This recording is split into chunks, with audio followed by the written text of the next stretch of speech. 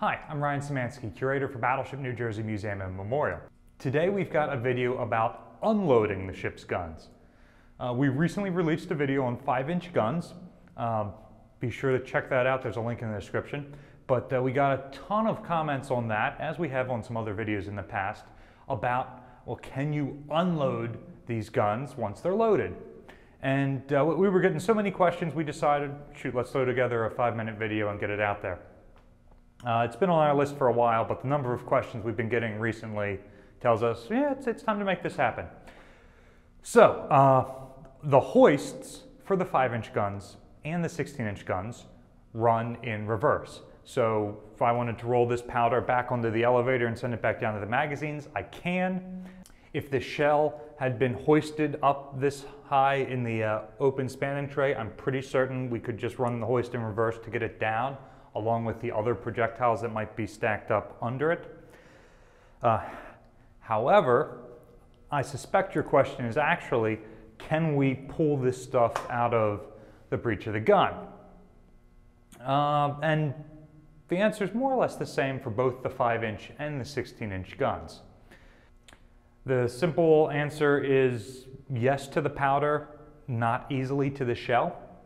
So what do I mean by that? Well, with the 5-inch gun, as soon as you drop the breech, an extractor grabs onto the rim of the powder canister and will pull that out.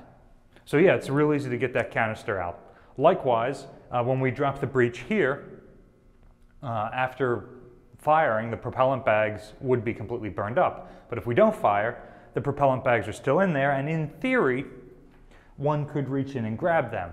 Although they tend to have a carry handle on the front and not on the back, and uh, these things are taking up, they're 18 inches each, so six times that ends up being nine feet. My arms aren't quite that long. Theoretically, there's some sort of tool down in the magazines, there are brass hooks that they can use to pull these bags out of the aluminum canisters. So potentially you could unload the powder if you wanted. The shells for both the 5 inch and the 16 inch guns are a different matter entirely. How the heck do you get those out? And, and uh, I don't believe you can. Each shell has a brass base ring near the bottom of it uh, and that ring is a little bit wider than the diameter of the shells. And the idea is when you ram that shell in there, you're trying to push it in so hard that the base ring engages the rifling. So at that point, it is pretty solidly in the rifling of the gun. Uh, and it's probably for both the 5 inch and the 16 inch gun too far in there for you to just grab. So there, there, doesn't seem to be any easy way to extract that projectile. And even if you manage to, the base ring has been uh, worn away. It, it, has ridges cut into it now from the rifling. Uh, so you can't reuse it. Uh, so you, would just be throwing it overboard. The only easy way to unload one of these guns is put in a partial charge and fire it off. And both the 16 and the 5 inch guns had smaller than full service charges that they could fire off to clear the barrel uh, or for training exercises. So it's entirely doable and completely reasonable after the ceasefire has been given that uh, you will then receive permission to clear any of the guns that are currently loaded. This whole concept of uh, unloading a loaded gun is actually where the idea of firing salutes came from.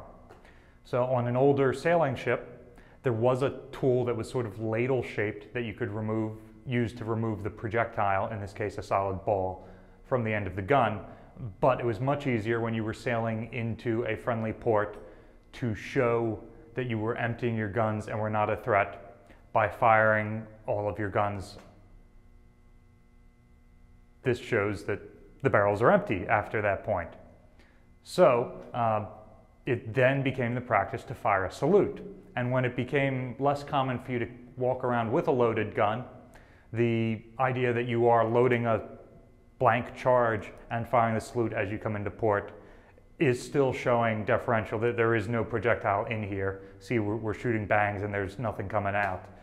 Um, So th- this practice goes back hundreds of years as the way to clear a loaded gun. So let's say you have some failure while firing the gun. You close the firing circuit and nothing happens. Well, you don't open the breech and stick your head in there and see what's wrong because you might have what's called a hang fire, which means that uh, maybe the primer didn't ignite everything, but there's still smoldering embers in there that will ignite it. Uh, and opening the breech and letting air flow in there may be what it takes to set that off with an open breech at that point.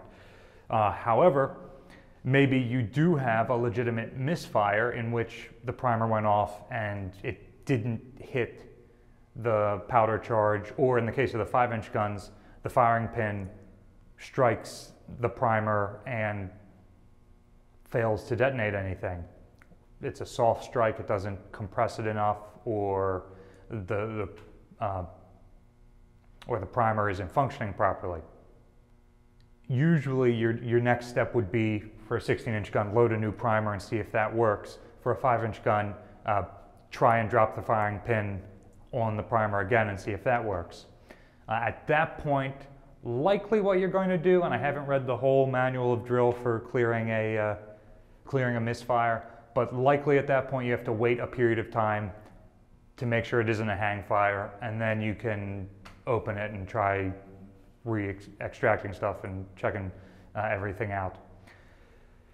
Regardless, the projectile is still stuck in there. So you, at this point, you're not trying to remove the projectile to do it again. The projectile is jammed in there. You're going to load more powder or new primer, whatever it takes to fire that thing out.